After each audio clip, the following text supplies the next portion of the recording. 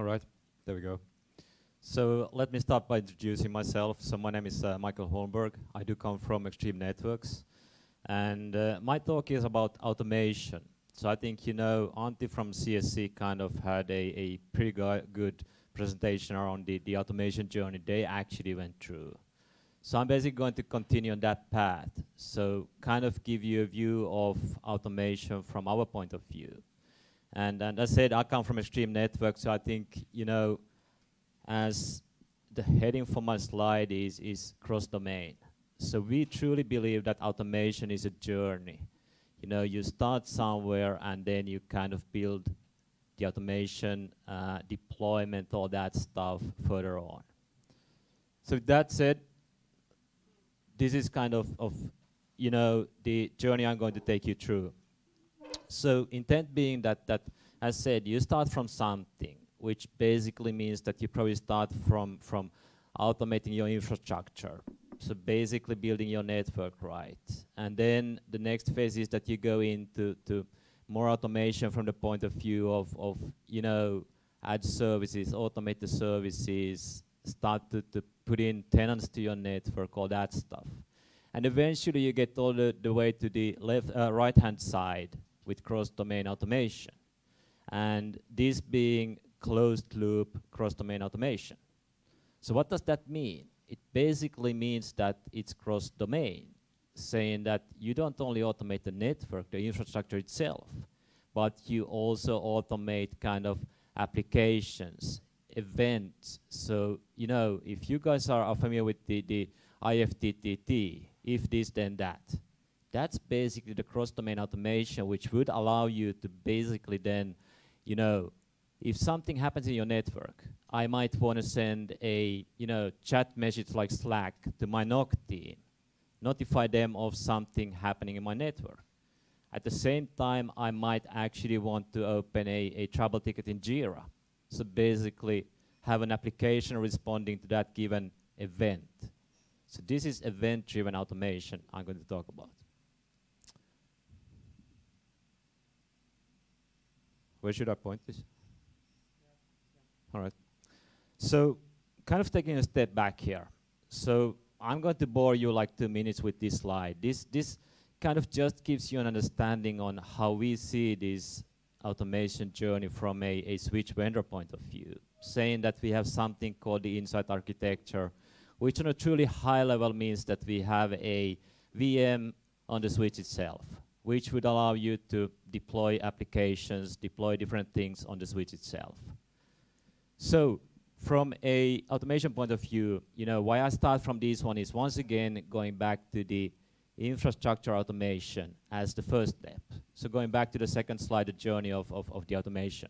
So say that you want to build a, a Clos architecture, a spine leaf architecture, a kind of typical DC architecture, right? What you'll have is your leaf switch, your spine switch.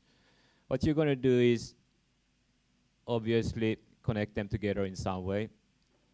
Physical cables, then you're going to put your management network, connect your management network, and then you basically are going to start to configure each and every of these devices. So you know, kind of what I guess the majority of us are used to doing. Jump on CLI or something similar, start to configure the network, do your IP underlay, your overlays, everything, so a pretty complex configuration at the end of the day. Now, going back to the first slide saying that, you know, the automation journey starts here.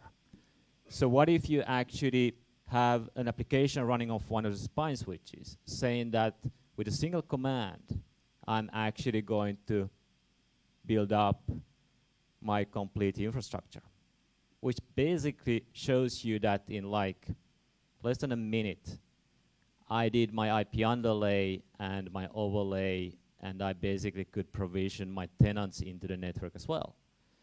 So why am I, why am I showing you this? It's just because, as said, this is a journey. This is where you start, but this is just the infrastructure. This is just the plumbing, right? Now becomes the question that what's next? Okay, I have my network built, but now I want to start to actually add stuff onto that one. Or I want to start to do, you know, closed loop cross-domain automation. So, many of you might find yourself on this picture. What you'll do is, you know, You have a monitors in front of you. This is your everyday more or less. And you hope that you don't get the, you know, 1 o'clock a.m., 1, 1, uh, 1 a.m. clock in the morning, uh, call in the morning of something being wrong in your network. And once and if you get that call, what happens? You are going to fix the problem, right? So you might actually end up being something like this. You might have scripts that you actually do some stuff with, right? To fix problems or, you know, provision new things, orchestrate things. So it's still pretty much manual labor based on something. Now, going to the thing I was saying, event driven. So what if instead of getting that, you know, 1 a.m. call, what if you actually, as I already gave the example of that one, what if you have a mechanism in place that would try to remediate the problem? So let's take a, a simple problem being like, you know, a port goes down. So what if you actually have, once again, the IFTTT, if this then that, a port going down, and I would have some kind of an, that's an event. I would have an action based on that that would try to remediate my problem, try to restart the port. It would also actually enable an application, being, as said, a Slack message, a chat message on a NOC channel, which basically would post your NOC a message saying that the port went down. At the same time, you might actually have an application, being you know, Jira, for instance, where you would open up a trouble ticket. So all of this you can see is kind of cross-domain due to the fact that you do multiple things here. Now, kind of to put this into some context, let me get the build up, sorry. So I'm going to, to kind of spend the rest of this presentation talking about StackStorm. How many of you guys have heard of StackStorm? One, two, okay. So this is truly around StackStorm, which is an, an you know event-driven automation platform, which is pretty much uh, workflow-driven. So why am I kind of being from Extreme Networks talking about StackStorm? Well, the fact being is that we do have a product called the Extreme Workflow Composer that is based on StackStorm engine. And that's completely open source. So you guys can go and, and pick you know, the StackStorm application and start to use it. The key difference being if it's StackStorm, it's truly a DevOps tool, which means that you probably are pretty familiar with, with you know, scripting all that stuff because you do basically everything in scripts. While on the Extreme Workflow Composer, it's, it's pretty nice GUI, you know, you have a, a graphical user interface called the workflow designer that would actually design those workflows for you. Now, here's the key message from you know these 20 minutes of fame for me here talking to you guys is that StackStorm is three components. Try to remember these. On the left-hand side, you have a sensor. What is a sensor? It's basically something you know that fetch something. So a simple example of a, a, a sensor could be an SNMP trap, a syslog message, something like that. This is just pretty much simplified. Then you have a rule, a workflow. So basically an action, something defining something. It could be a, you know, Perl script, Python script, you name it, anything, legacy CLI, whatever basically. And then on the right-hand side, you have the action. The action could be kind of going back to my example, saying that if I have a port going down, what would the action be? One action would be remediation, trying to actually restart the port. Second action would actually be to talk to Jira, open a trouble ticket. And the third action would actually be to send a Slack or, or post a Slack message on that one. So now you kind of start to see the picture building up here on the cross domain. And then you can add on the closed loop. So you can have truly different workflows defined for doing different things it's basically up to you how you want to do this and define this. It is completely, you know, flexible for, for anything you want to do, basically. So I said, key message being is, is remember these three components within StackStorm, within this, you know, automation suite. So let's kind of look at this one.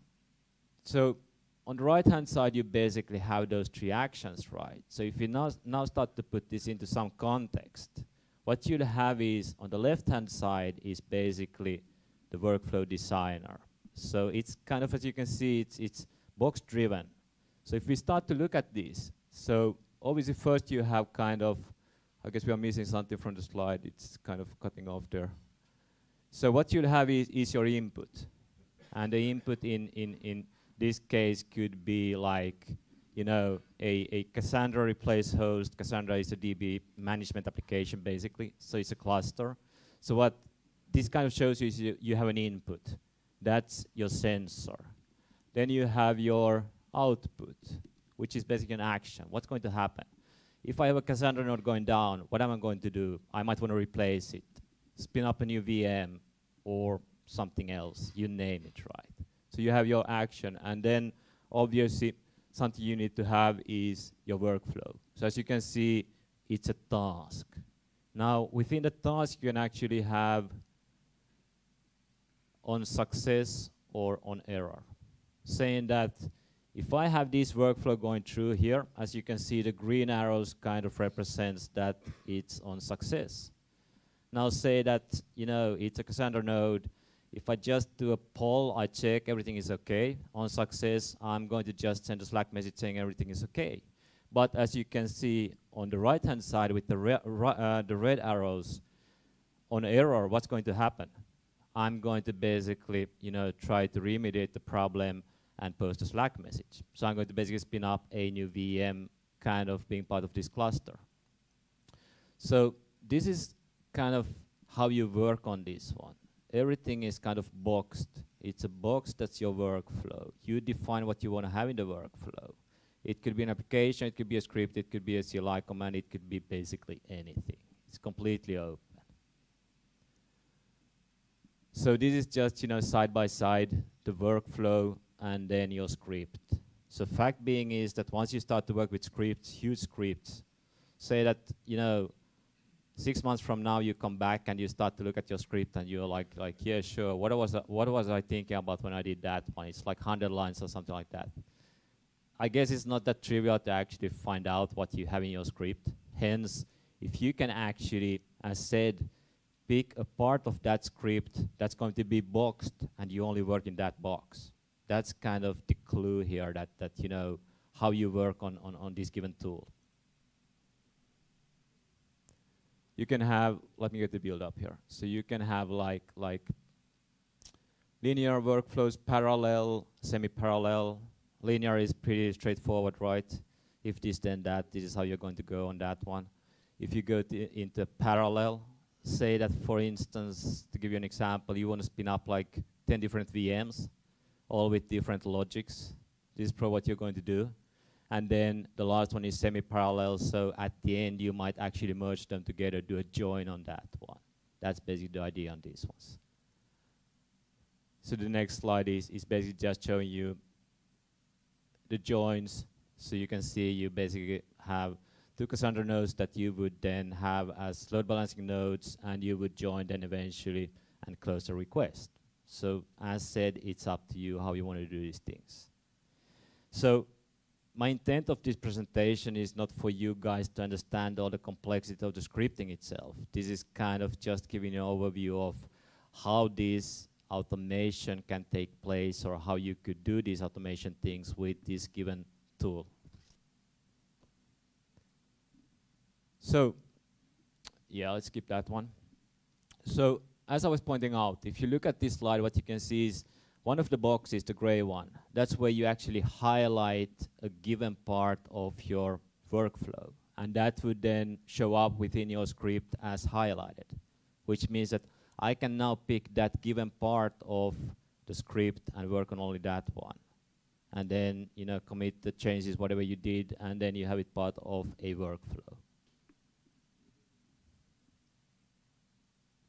So I said, this is a you know truly open source product. There's something called the Exchange at StackStorm, which basically means that you have integrations with multiple different applications. I think it's like 250 plus today. And as you can see, starting from the left-hand side with the cloud providers, you go into automation, essentials, curiosities. You even have a Tesla car, you have Nest, you have Hue, you have IoT stuff, you name it. But the intent of this one is to show you that, that you know, if you remember those three components, the sensor workflow and action. So this could be an action, right? You have an integration with an application as I already been kind of stating over and over again that a couple of applications for that Jira, Slack, things like that. You have Excel, so I'm going to show you or walk you through a, a example of Excel actually used for that one as well.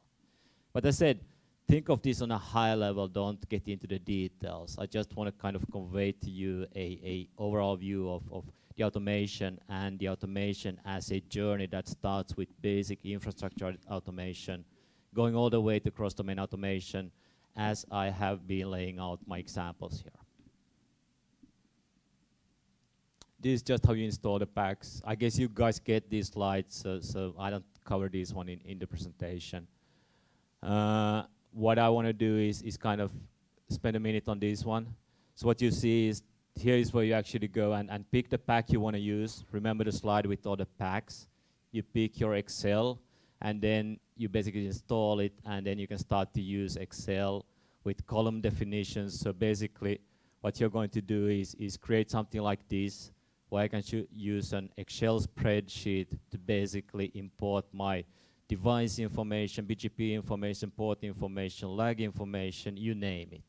But I can still use that as the underlay for my automation. So yeah, these are a couple of examples how you then would create that one. Let me skip through these ones and kind of putting this into some context here, what you see here is, is you know, say that, that I have a slow application in my network. Somebody is going to basically, you know, call me up saying uh, my application is slow. How can I use that this one for, for basically, you know, doing something to that one? Well, I can kind of automate everything I told you so far based on for instance, having, if you have Insight architecture, you have a VM running on a switch, you could have a Wireshark capture happening once you have slowness in that one. You could, as said, try to remediate the problem, add a lag group, more bandwidth, you could, you know, open a trouble ticket, you could post a Slack message, you could, as said, enable a Wireshark packet capture and put that as an attachment to your, your Jira trouble ticket, so on and so forth. I'm, I'm kind of flying pretty high here, but I just want to put this into some context for you. So with that said, I think, you know, let's go into a, a more kind of realistic uh, short video of this one. So what this video is going to show you is more or less, as I already kind of been saying here, that you're going to have a port going down, then you are going to actually try to remediate the problem. You're going to have webhooks into applications, which is going to post a Slack message and then it's going to eventually post a Jira trouble ticket at the same time. All with the given event being a port going down without any human intervention, intervention just kind of, of as said, cross-domain automation being the thing here. So can we get the video to roll?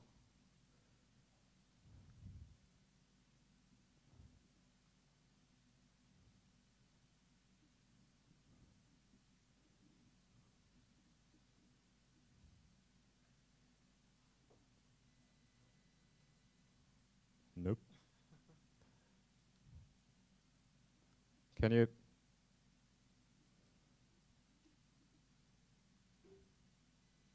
It should be a video.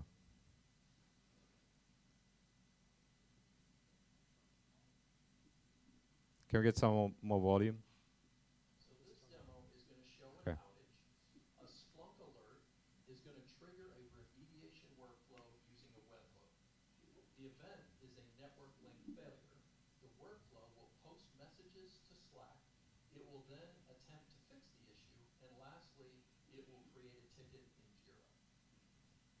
So let's take a look at the components of this demonstration. Now everything starts with Splunk, so let's start in the Splunk user interface.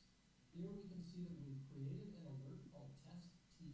Uh, this alert is enabled, and here is the webhook that we're going to use to initiate our uh, automated remediation. To see the details of the webhook, we can uh, hit the Edit tab, and here you can see the URL information as well as the name of the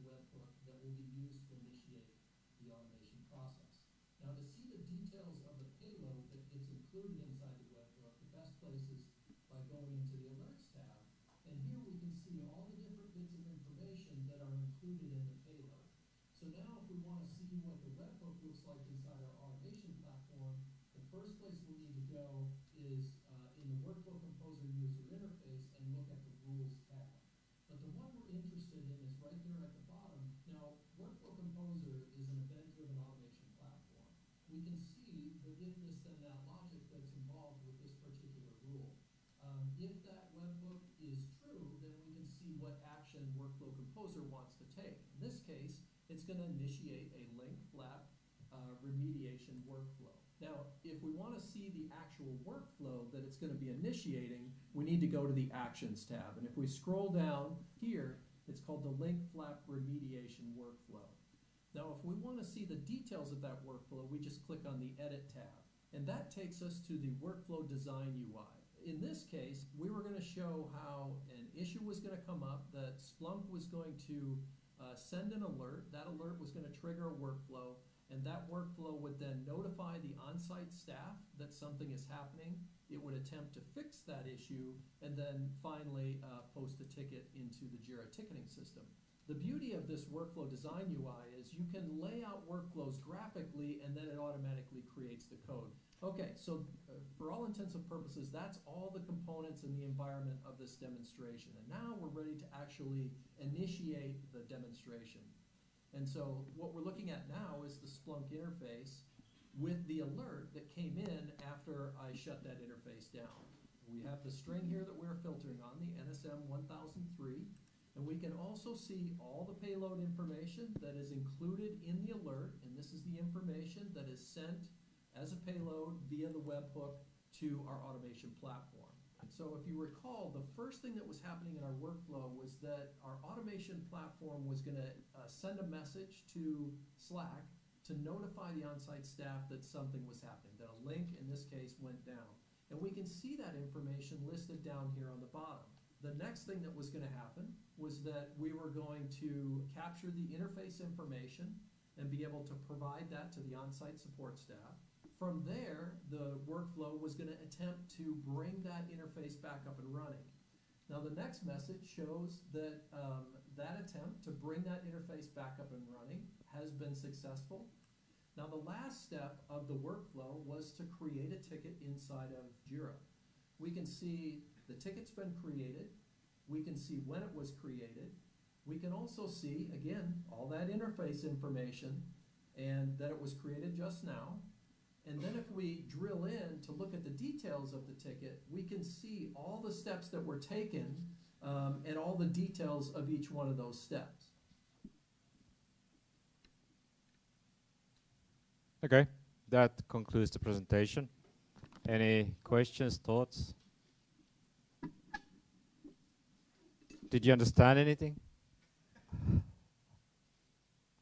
Okay, thank you. Well, I did. Anyway, thank you very much, Mikael.